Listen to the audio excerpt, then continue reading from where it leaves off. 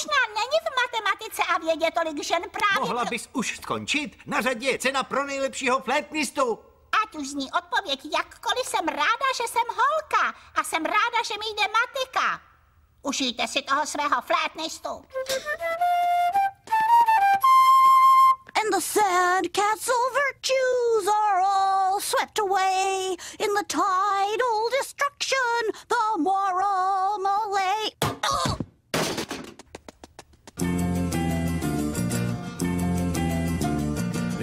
Hráli v českém znění Vlastimil Zavřel, Jiří Lábus, Martin Dejdar, Helena Štáchová a další. Připravili překlad a dialogy Alena Fischerová, dramaturg Lenka Lukešová, mistr zvuku Josef Kušnír, asistentka režie Hana Somolová, vedoucí produkce Markéta Vyšínová, vedoucí dramaturg Michael Málek, šéf producent Vladimír Tišnovský, režie českého znění Zdeněk Štěpán. Vyrobila Česká televize 2007. thick as a brick.